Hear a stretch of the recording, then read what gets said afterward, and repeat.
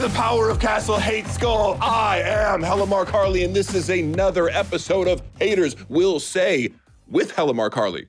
Okay? We're not going to switch it up on you and bring in another host and defy the whole logic of this podcast, which is me talking to you because you like hearing me talk. Okay?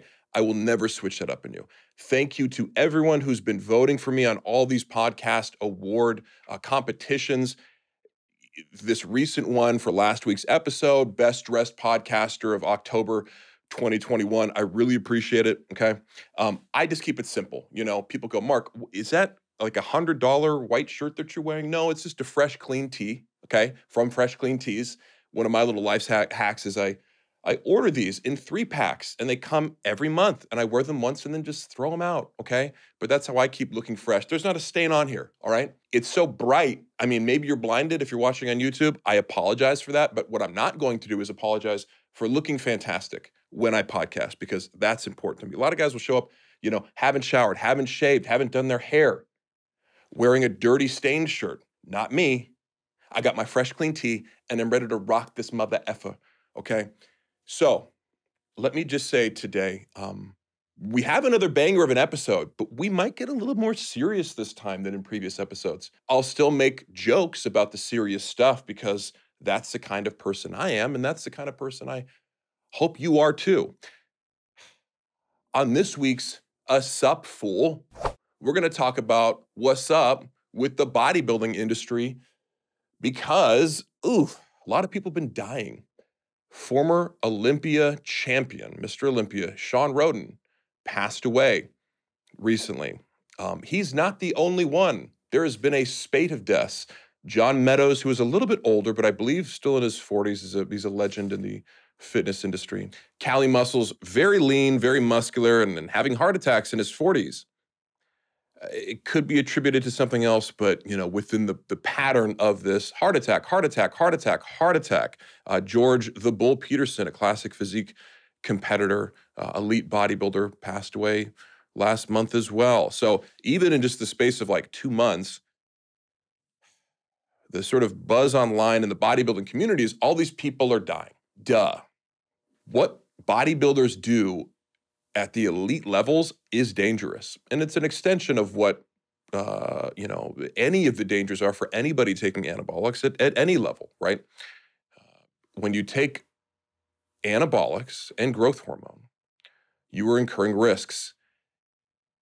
Steroids make all your muscles grow, including your heart. Growth hormone makes all your organs grow, not just your muscles. So, you are inviting left ventricular hypertrophy, which can be uh, uh, dangerous for you.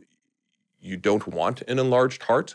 Steroids can put stress on your liver, especially oral steroids, your kidneys, uh, all this organ stress, all the, the stress that you get simply from being a heavier person pursuing the natural or enhanced limit uh, of the amount of muscle that your body can even handle it puts stress on everything. You know, the, the difference between I like to run, I, I can tell 10 pounds, you know, uh, that I gain or lose makes a huge difference in my ability to perform cardiovascularly, for instance, because you are, you know, carrying around this weight. If you're at 230 and you go up, go up to 240, it's like you're carrying around an extra 10 pound weight in your hand.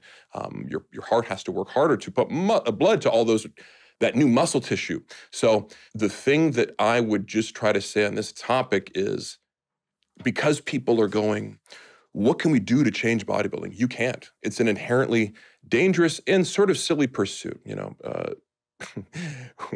a bunch of guys, you know, eh, now it's hard work, but the end goal is to look like a freaky, gigantic monster on stage with as much muscle mass as possible at the lowest body fat percentage. That's cool if you can parlay it into something else, but, you know, if you can make it to your 30s or 40s and you're still cranking these huge amounts of gear, which are necessary to be a top bodybuilder. Even if you take time off, you still have to go, you know, take ungodly amounts. You know, and I've made this comparison before. It's like, you know, if TRT is a shot of alcohol, the the amount of steroids that pros are taking at the elite level would be like whacking down a 30 pack every night. Okay. Um, in addition to other unhealthy practices like uh, dehydrating yourself before a competition. It's just not healthy. And I would advise you to look at all these uh, recent deaths and think about that. If you've ever thought about doing steroids, just know that you are incurring some level of risk. And now you can mitigate that risk with various practices. Um, you know, number one, minimum effective dose, right? If you're going to take anything, do the least amount possible that's going to give you any result, right? And only work up uh, when you have absolutely maxed that out. Speaking of minimum effective dose, mitigating risks, um, I'm going to use that as a transition into another segment of Hella Sick Fitness Pages. This week, I am highlighting a guy named Vigorous Steve. He's a Dutch bodybuilder who lives in Thailand. I had the pleasure of discovering his YouTube channel um, earlier this year. And this guy is such a great resource, um, specifically on PEDs. I would say he's probably the best resource uh, as far as information on PEDs on YouTube.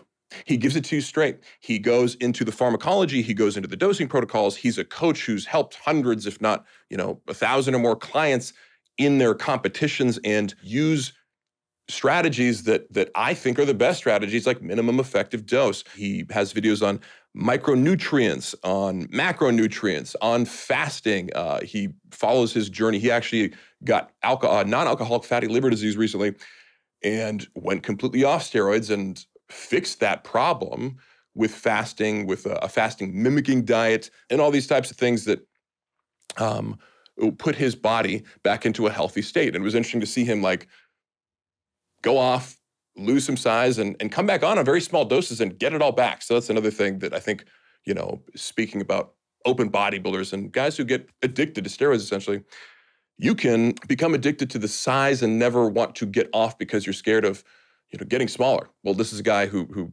shows you, yeah, you can go off and lose some size and maybe you don't work out and it'll come back, you know, on, on a minimum effective dose. So he's somebody who I'm always referring his videos to people. Like when people come to me with uh, basic questions, I'm like, here's his video on beginner steroid cycles. It's going to give you everything you need to know, you know, starting with bioidentical compounds in the right doses, testosterone, growth hormone, insulin, uh, and moving from there to the, say, if you're going to take that journey, you can do it the safest way possible by following Vigorous Steve's protocol. And he's got a dope ass voice and a cool accent. And he lives in Thailand, which is super cool. Posts videos himself training in Thailand at crazy gyms like you've never seen before. So check him out. If you don't, I'm going to check up on you. And if you guys aren't following Vigorous Steve, by the end of next week, I'm going to hunt you down. I'm going to dox you, and I'm going to smash that follow button for you on your phone. How would you like that? I'm going to introduce a new segment today called Deep Ass Thoughts, where I think about stuff in a super deep way and then communicate those thoughts to you. So, a guy named Uncle Bronco's Barbecue said, Hey, Mark, I'm just a normal nobody, but I wanted to say you and the Thick Boy crew are awesome. I know, right? I'm a fat guy trying to get fit and lose weight to be healthy for my wife and kids. I love how positive you are. I do too. I'm definitely not a hater, just a dude you inspire. Now, a lot of people might be thinking, oh, Mark, you're just reading these nice messages to stroke yourself off. And yeah, there's an element of that. I love stroking myself off, but it's not just about stroking myself off. I want to stroke myself off for my audience. I said, thank you for writing, my friend. Appreciate the feedback. Wish you the best on your weight loss journey. Let me know if you have any specific questions, which I always do if you reach out. I'm gonna be like, hey, give me a question. You know, this isn't just about, oh, thank you. Thank you so much. I know I'm so great, right? This little message led me to think about how, uh, you know, men will men will write me and say things like, I'm doing it for my wife and kids or some external. No, those are all very noble goals, right? To get fit for your family, to get uh, to get in shape, even if you're just pursuing women, right? You go, I, I want I want more options dating women and I'm a young man or an old guy, whatever you are. It's a, uh, if you're improving your physique for something external like that, that's awesome. You should do that if you want more successful outcomes in the dating world or just, you know, to have your wife more attracted to you or to have, uh, you know, to make sure you're around for your wife and kids. But the deep ass thought here is that's how it starts, right? It starts with this I'm going to work out to get this. But what ends up happening is you fall in love with the process. And you also fall in love with pursuing excellence, right, in the context of fitness, but you start to see that, oh, yes, exertion feels good. In the most basic ways, we see that exertion feels good uh, with exercising, lifting, and running, and doing any sort of high intensity activity. And I think that just carries over to everything else, right? We, we start out as men saying, I'm going to do this to get that. But ideally, you'll fall in love with the process and pursuing excellence and self improvement. And then it's about you because I don't think I could sustain uh, lifting weights if it was just about being ripped. I mean, that's great. Yes, I work out, I get ripped. It's whatever. But if it was just about looking in the mirror and I didn't enjoy the process, wouldn't do it. Mm. And I say that as somebody who hates to do many things and can barely motivate myself to do some basic tasks that I just don't feel inherent enjoyment. I know I should do them. Oh, I'm going to like the outcome, right? But the moment it starts to feel like homework or something, I'm out. Never liked homework, but here I am, mom. you know, the teacher said I'd have to do homework to succeed in life, but here I am with almost three and a half thousand followers on YouTube. Wrap that, wrap that number around your brain, and then wrap your brain around that number so it can be intertwined with one another. It's just unbelievable where I've come as a guy who didn't like homework growing up. So get that chick, get ripped, get pussy, and then all of a sudden you're not gonna be a pussy and you'll get even more pussy. Boy, you're in store for a real treat today because we have another episode of Mark Harley's Bro Science Academy. So today I wanted to talk about a principle in lifting that mm, Maybe it works better for actual hypertrophy. Maybe it doesn't, but it's more of a psychological trick for me. It's doing your workout in reverse. I do this with any muscle group, but specifically with legs, I'll use as an example. When you start with squats or leg press or these compound movements that are super tough, right? By the time you get down to like doing calves, hamstring curls, leg extensions, some of these auxiliary isolation movements, um, I'll not want to do them. I'll be like, fuck this shit. Fuck leg extensions. I'm going home, right? You're not as motivated. You don't you don't want to put 100% effort into it. Or sometimes just knowing like, oh, I got to hit a PR today, you know, or I did this much last time, going your heaviest in squats or deadlifts or something right at the beginning of the workout can make you put it off, right? So that's another psychological phenomenon that we go like, oh, you know, why do people not like to do legs? Because it starts with squats. right? Or it starts with heavy hack squats or heavy leg press, right? And I like doing legs, but it's not fun. There's a reason people hate leg day. Because squat sucks, makes a, you know, squats make you feel like you want to die if you're going to failure. So my hack is start with leg extensions, right? That essentially serves as a warm-up. Um, and it's easy to go all out to failure on leg extensions, you know, as the first thing. It's not that it's not that uh, intimidating and it's not that difficult. It's not going to get you huffing and puffing and feeling like you want to pass out. So you do that, you do your hamstring curls. Um, by the time you get to squats, you don't even have to use that much weight to get the same level of uh, fatigue and exertion. So you don't have to use the same weight. You know, if I'm normally repping four or five on squats, I can drop down to 315 at the end of a workout. And it's the same level of exertion I'm using, right? And then the real benefit is on that last set, to failure or whatever on a DC program, let's say I'm doing a 20 rep hack squat to failure. On that last rep, I get to be like, peace leg day, I'm getting the fuck out of here. It's been real. It's been fun. Wouldn't say it's been real fun. You can do that with anything. You can do take a chest day and do flies first, do the isolation movements first and save the compounds for last, just to switch it up. Is there a benefit to hypertrophy? Potentially. Um, it's just kind of an old school bodybuilding technique to pre-exhaust. You know, you could do flies right before you do a bench press, you could do leg extensions right before you do a squat. Um, try it out, especially on lagging body parts. Okay. You know, it's the great Missy Elliott once said, you put your thing down, flip it, and reverse it. So I want you to put that workout down, flip it, and reverse it. And let me know how it goes, all right? Thanks. Ladies and gents, we are back in the kitchen with another Hella Chef Harley, bringing you all my favorite recipes the high protein recipes, the delicious recipes, the recipes that are gonna help you go from fat to really shredded overnight. I guarantee it. Just send in your money now. For the low, low cost of $1,000, I can show you how to eat and not be fat. What we're doing here today is protein pancakes. Again, super simple. I'm selecting these recipes not based on like, oh, it's so complicated and you have to have all these things in place to eat healthy. No, these are like two ingredient things. You're gonna mix a cup of Kodiak cakes, right? Available at any store, Ralph's, Costco, whatever. You get the bigger one from Costco. This is from Ralph's. PE Science, another company that doesn't sponsor me, but needs to get on the goddamn ball because I'm consuming your products. Okay. I'm promoting your products. What are you doing for me? Nothing? Great. Let's rectify that. PE Science makes a great whey casein blend in this specific uh, flavor, cake pop. Now, I've tried other flavors of other proteins. It just doesn't work the same way.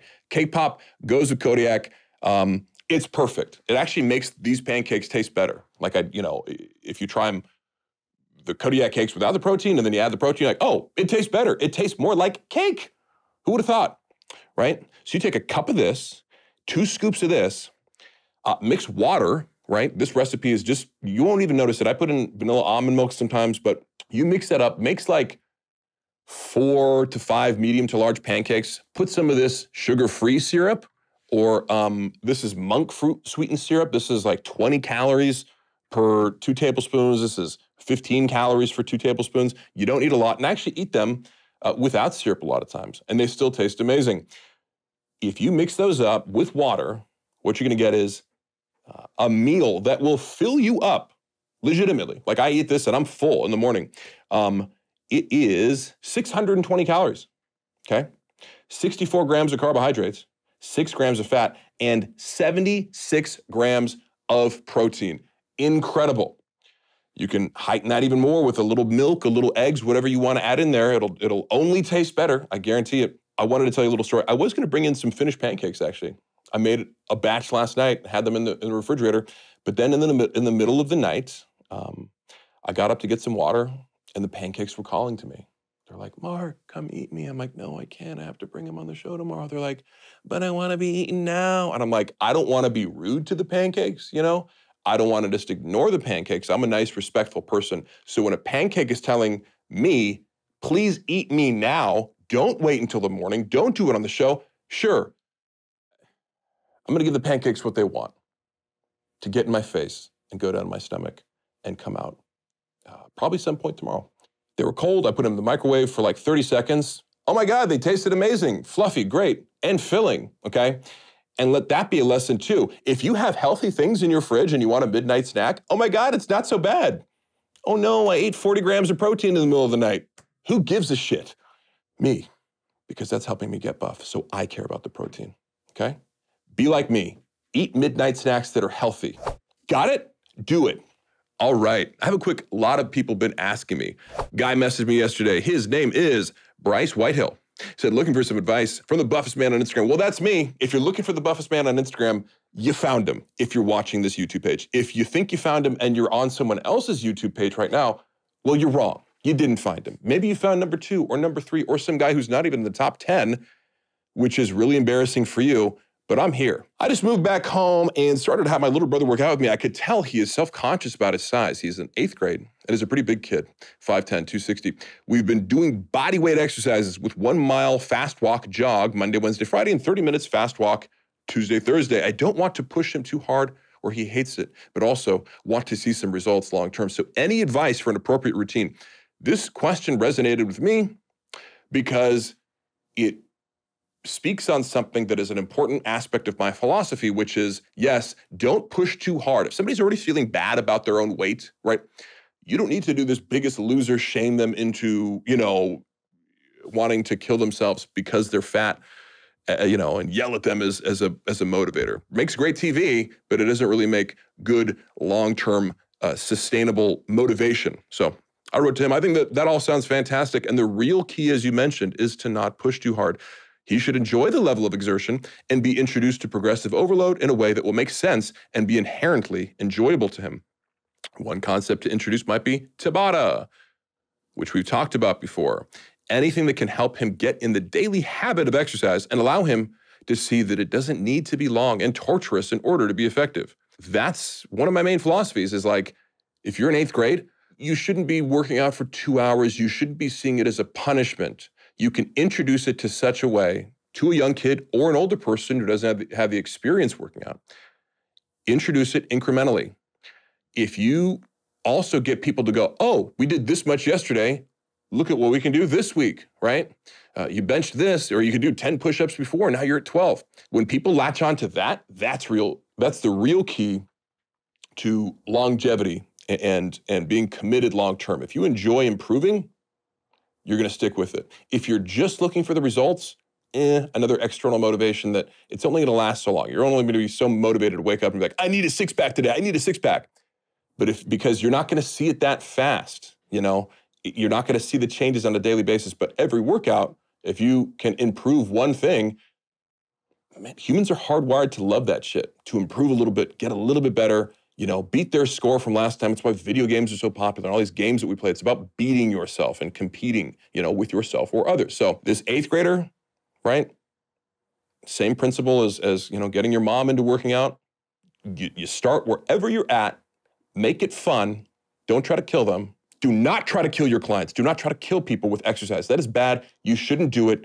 I'm saying it right here, right now, as a legal and medical disclaimer. Do not try to kill your mom with exercise. Just make her cry a little. All right, we got another saucy or not today with uh, Sam W. Chard, a follower, a fan of the show, who wrote in with pictures of himself. Another dude sending me shirtless pics, huh? Classic. So the first pictures we're going to see, the guy looks really skinny. So I'm assuming this is at the start of his transformation. He's 15. He has visible abs, and they're actually quite prominent, but his arms are very long. He looks like a huge bobblehead. His head's way bigger than his body. I'm not saying that as a diss. It's just a fact. Uh, he looks really ectomorphic and skinny, but I can tell he has a nice frame on him. Now, if you were just to look at this picture that I'm looking at uh, of the start of his journey to his most muscular, where he's putting his arms up like this and doing one of these, which the skinny guys look really good doing, um, you'd be like, yeah, he's on juice. His lats look wide. Um, he looks like he has some vascularity even in his lats. Uh, his arms look much more developed. Um, his chest looks bigger. You know, his abs look, well, they were defined before, but I guess it just, in comparison to his torso, uh, his waist looks even smaller now that he's developed his lats, right? If this were like a, you know, this guy were like a 30 something or a 20 something going, I went from here to here, my first instinct would be to say, yeah, you're juicing for sure. Now, this guy could be, but really it's a lesson to me on what can happen when you start lifting during puberty, right? If you start lifting at 14 or 15 and actually commit for 18 months or two years or whatever, you can make drastic changes. Now, this guy, as, as I said in the first pick, as a 15 year old, he looks sort of gangly and goofy. But when you look a little closer, it's like, yeah, he has abs. He has actually some muscle on his shoulder. He has broad shoulders, which can kind of make you look skinny and weird when you're young um, and you haven't quite gone through puberty yet. But that makes for a more dramatic physique when you put some muscle on it. When you have long limbs and you put muscle on it, when you have broad shoulders and you put muscle on your shoulders and chest, uh, it can look really incredible. So it's more just like a, a note on when skinny guys get buff, it looks amazing. And when fat guys get really skinny, sure, that can look great too. I'm just saying, with ectomorphs, you can see everything. If you keep that same body fat percentage and put on muscle and go from a gangly teen to you know, a muscular teen as as your body's pumping all those natural hormones into itself. Uh, that's a great time to take advantage of it. So part of me thinks that yeah, he could be taking SARMs or something like that, but at the same time, this kind of transformation is within the realm of possibilities. I was a freshman at like 116. By senior year, I was 220. Without that, you know, I still had a six pack. Um, it was just a lot of eating and lifting and growing into my frame. So that can happen, and it's a great time for anybody who's young do it now. Way, way easier than doing it later on when life hits you in the dick. Okay, we got a hater of the week. As I referenced before, this one's like a little bit sad. I wanted to share it with you. Again, I'll rack up these hater of the weeks like, you know, a plan for to do one or the other. Some of them are goofier, more lighthearted. This one just happened yesterday, and I felt like it was a good teaching opportunity, even though it's a little bit dark, frankly. I feel like it's another sort of example of something that validates my premise, and I think something that we can learn from, okay? Unofficial Sweat is his name. Commenting on multiple pics of mine, stop the fucking duck face. Enough with the duck face. And I post that like a, you know, if somebody's just like posting repetitive stupid shit, I'll, I'll, you know, screenshot it and post my story. My caption was the I'm confused by my feelings for you starter pack, which is like guys always duck face, duck face. I'm not making duck face. I just have gigantic, juicy lips. Get over it. He writes back because I tag him in it and goes, Thanks for the free publicity, you insecure duckface idiot. And I said, You won't get a single follow. You'll just look like a fucking idiot. You sought me out to criticize me for making a face I'm not making because my lips trigger you. who's insecure. Thank you for allowing a complete stranger to enter your world because you're an insecure little bitch. I said, This is what I do. Thank you for being yet another insecure young man who's triggered by my appearance because they hate themselves. You are now my content. Um, wouldn't that be convenient for you? It's not only convenient, it's an objective truth. Keep living in your insecure bubble of assumptions, Hark Marley. And I say, So in your world, searching for another man on IG who doesn't know you um, to comment negatively on his, his appearance makes one seem confident oh yeah, Mark, that's it. You hit the nail on the head. And it goes on and on like that. And I go, like, seriously, like, how do you think your behavior seems to the outside world? So I'm gonna have to summarize a little bit because it went on and on. And basically, I posted a screenshot of he has a link to his rap album on Spotify. I posted it and it was like this song. I didn't even listen to this like songs and say like this sucks. It was just like I hate myself, like themes of self loathing. And it just validated my premise of like, here's the kind of guys who come and attack me online people who are making rap songs about hating themselves. Uh. Now, because I posted that, some of my followers messaged him to tell him his music sucks. Now, I'm not going to tell you one way or another to not do that. I don't encourage bullying, but it's like, hey, man, you made a decision to come at me publicly. I'm just sort of, as I do, it's like, and here's this person. I'm not saying attack him or look how much he sucks at music. I think it's awesome that anybody tries anything artistically. But if I put that out there and you're like, I tricked you and I'm gonna get free publicity, and then people tell you that your music sucks, well, that's a consequence of your action, putting that negativity out there. I woke up this morning to a bunch of messages and voice notes from him on Instagram, basically like expressing remorse. And at first I was like, is this guy joking around? Um, but he was like, really like actually sad and said, you know, you taught me a lesson today.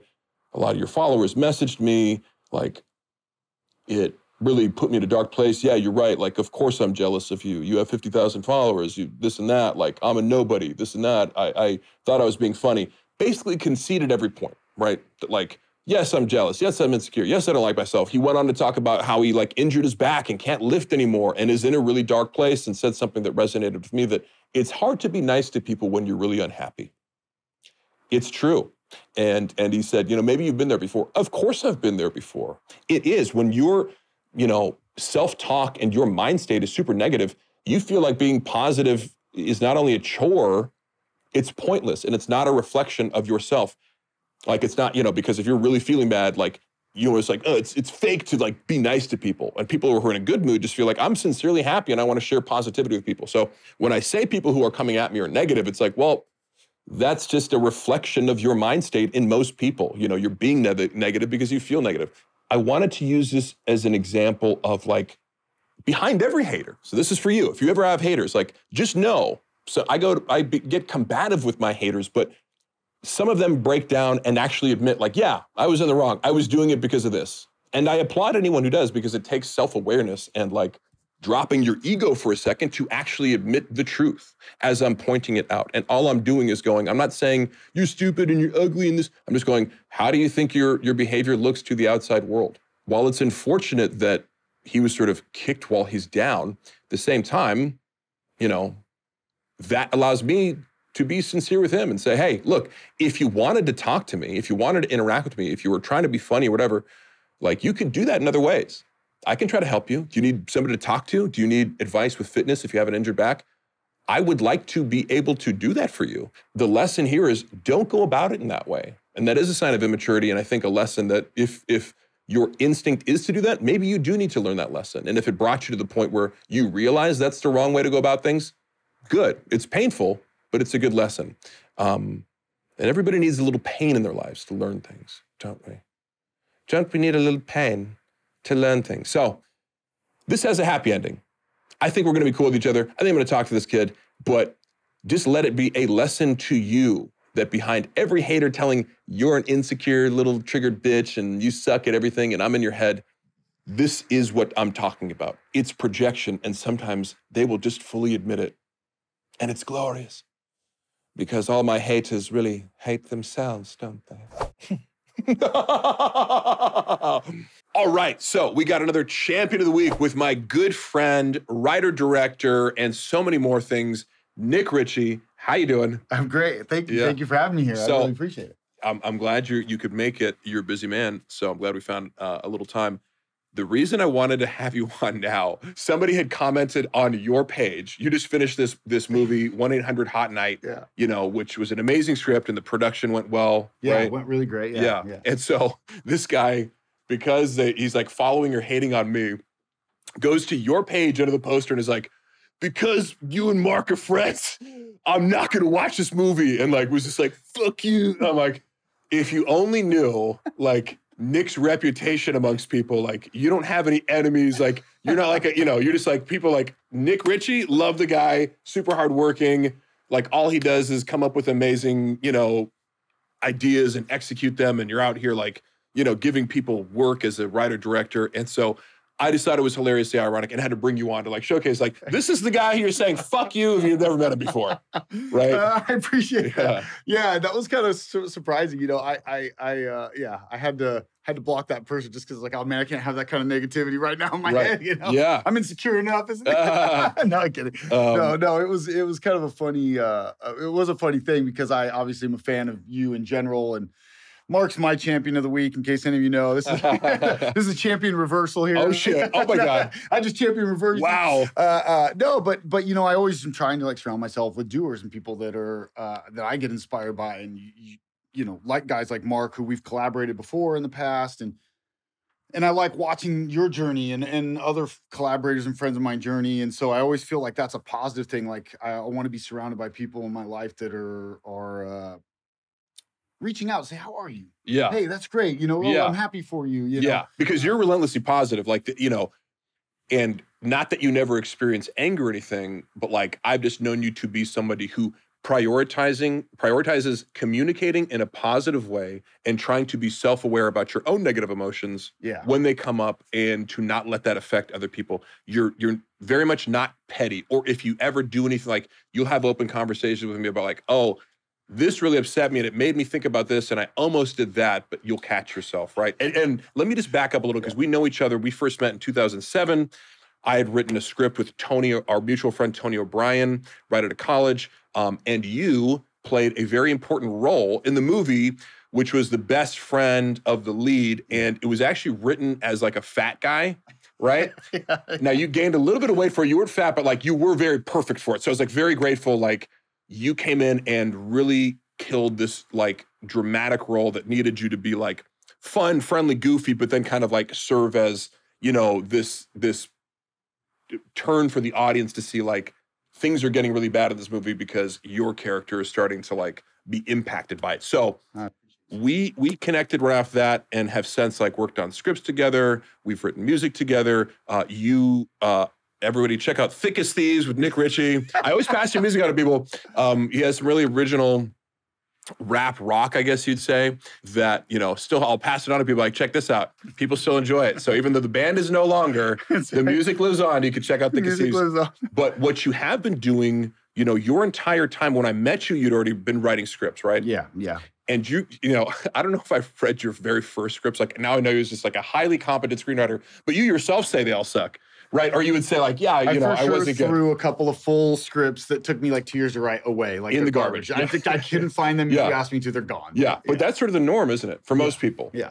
It's just like you, you. Many people don't progress past that, or or think like they need validation from from this. Now, as a guy who I'd say, more than almost any other person um, that I've known in LA, you seek out honest feedback. You'll send me drafts, and I could say anything to you. Yeah. And like you, you know, it's never like, oh, look, how- look how good it is. You're like, say whatever you want, and I actually do feel comfortable Yeah. telling you things that I don't like. It's just like nowadays, a lot you'll send me stuff, and it's like, yeah, I don't really have a lot to add. You're really good at this now, like you, you know.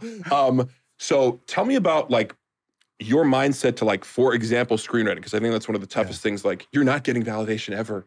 You have to finish this whole thing and then send it out. Yeah. How have how did you stay with that from you know the early 2000s to where you're at now as a writer director actually making movies? I think like we were just talking about this before we started the segment of the, Yeah. there's this book called Grit that I, I've recommended to Mark and I and I know you're gonna listen to it and it's great. But it talks about this idea of like it's not enough to just practice something, right? Because if you just practice, like if Michael Phelps, uh, I'll back it up. Like he basically says, or she says in this book, like the word talent is is sort of a dismissive word to say someone's talented. The talent, Yeah. what does that mean? Talent, like Yeah. talented is in they've got like long arms. Is that talent? That's genetics, right? So that's not Right. talent. So talent is developed over time through deliberate practice. And this idea that like deliberate practice isn't just showing up. If you're a hundred meter sprinter Yeah. and you just naturally can run 11-2, well, that's not going to get you very far, right? Yeah. That's fast. It's lightning fast to the regular Yeah. person, but 11-2 is not going to get you very far. So you have to show up and try to run 11-1.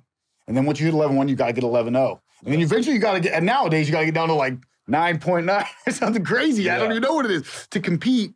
And so the point is that if you're not doing deliberate practice to get better, then you, you, you don't have the grit, you're not going to make it. And so I was really just felt like I was the staying in it was competing against myself. And Yeah.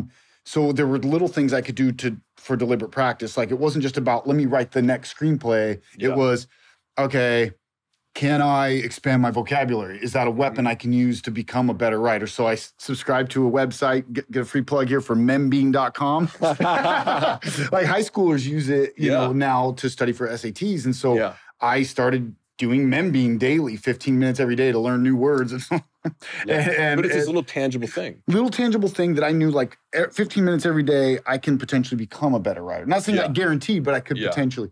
And I noticed that in your scripts, like you rarely use the same word twice. I try to not uh, uh, um, repeat myself, then surrounding myself with other writers. So that was what you just said. Like, Yeah, we- you would uh, organize a, a writers group, Yeah, you know, as much as possible, like sometimes weekly, sometimes you take a break from it, but like, you know, it, it it's a lot of energy to organize something like that. Yeah. But, but it really like that's a can be a big help to people. a big help because I had people like you and other writers who were in this group and we would meet, you know, weekly or bi-weekly or whatever it was. And you're getting feedback right there and people pushing you. And so I think it was just that, like, okay, I got this next script done. And there, and by the way, there's these, there's sort of these beacons along the way, right? I, I, Mhm. I was listening to like a Morgan Freeman interview once and he was talking about how so someone said like, oh man, you've never stopped working. Or when you did, you know, it was just these little bits. He was, you know, you just had this great career. And he said, yeah.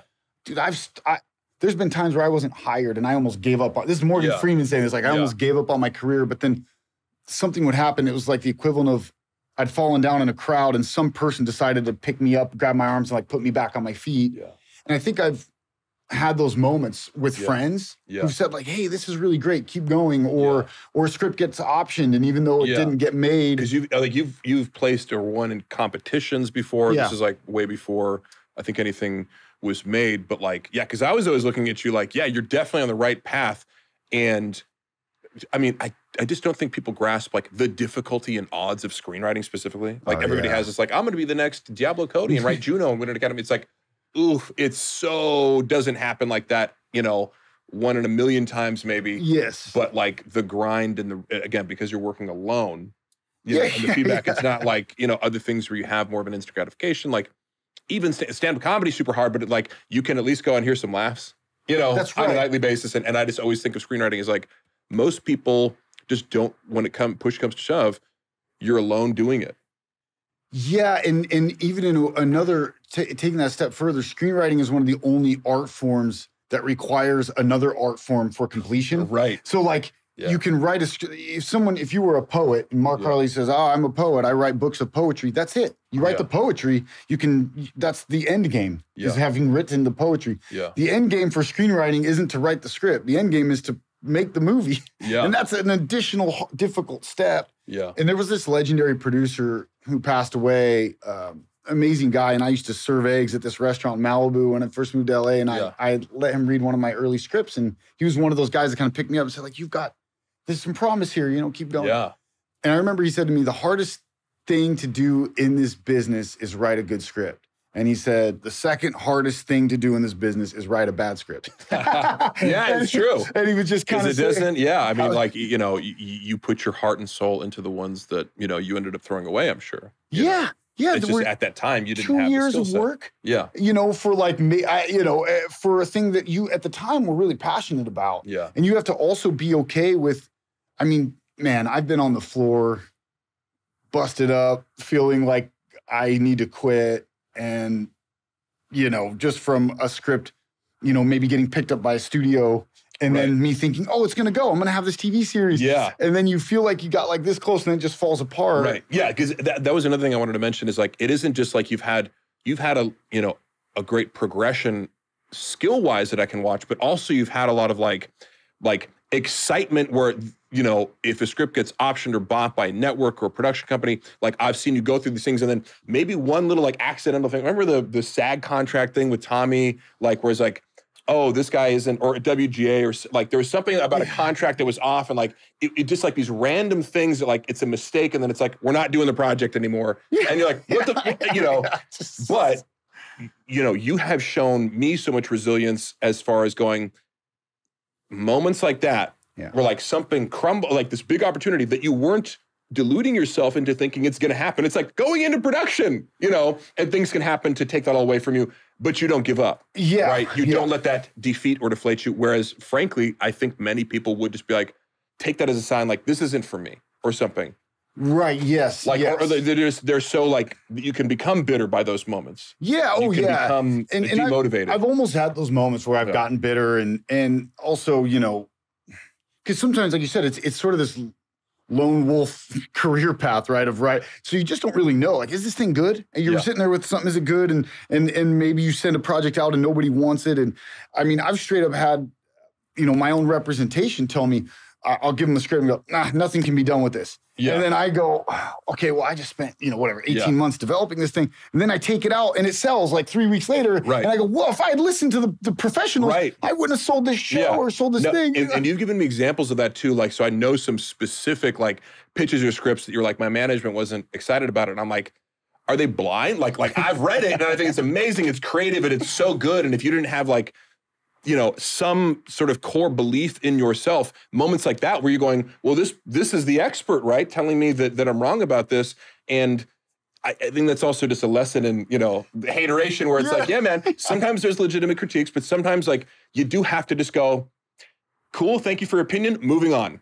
You know, yes. and and sometimes that really pays off because you can't assume that everyone around you you is looking out for your best interest or can even like understand what's in your best interest. Oh man, I, I think I think 90% of people we encounter are afraid. Yeah. Afraid of something in general, Yeah. afraid of losing their job at the Yeah. studio they work at or the Yeah. network they work out. Because these concepts are like, when I think of the ones, they're original, right? So you Yes, have really original ideas that aren't like they're really well executed, but it's like you can't be like, oh, it's just like Ozarks, but this or something. Like there's not an easy That's right. comparison, perhaps. And that's probably what leads people to go, I can't do anything with it Yeah. because you're limited, you know, in your capacity to like imagine how to pitch it, right? That's right. Yes, yes, and and it is. You you essentially have to go create one fan, and then another fan, and then Yeah. another fan, Yeah. uh, um, and and and then hope that that sort of grows, and you sort of get what's they, say like a thousand hardcore fans equals a critical tribe, essentially. Yeah. Which you have on the show, Hey! right? No, but it, matters. Like, Yeah. if you get you have over a thousand subscribers, that's sort of what they consider that critical mass of.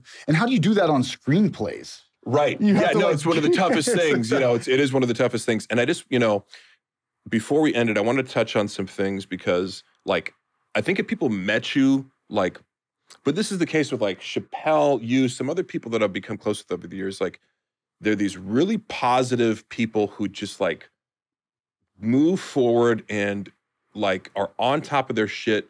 And I don't know what you would assume from that, but sometimes it can be easy to forget that, like, you know, you've come from a sort of dark place, right? Yeah, like yeah. growing up, your family, you there was addiction in your family, um, poverty, like you grew, you like kind of describe yourself as like a bad kid. You got into fights, you were like stealing, like all this stuff. So you came from this dark place, and like, you know, I think that helps me appreciate like you're such a positive person who who really values like kindness and and uh, you know having a, a strong moral compass. So can you talk about that, like coming from a place like that, and like you know what that makes you value as an adult? Yeah, I think like also just seeing some of the people I grew up around and and including in my own family and like seeing how their lives got destroyed by Yeah. different things, whether it was addiction, alcoholism, or, or whatever, drugs, um, crime. Yeah, Uh, and there's a part of that that's alluring, right? Because you want to be a part of that and you want to be tough and whatever, you know, so you can go get in some scraps and realize, oh, yeah, I can throw hands, like I can Yeah. do this, you know.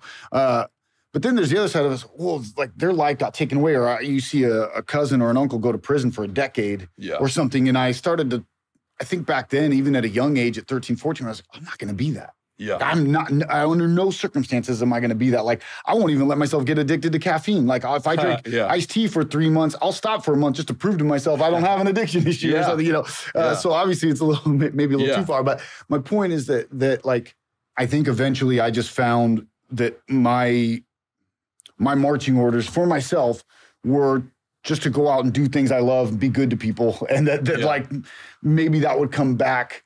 And there's again, there's another not to throw another book at you, but like there was a point where I read this book called The Go Giver.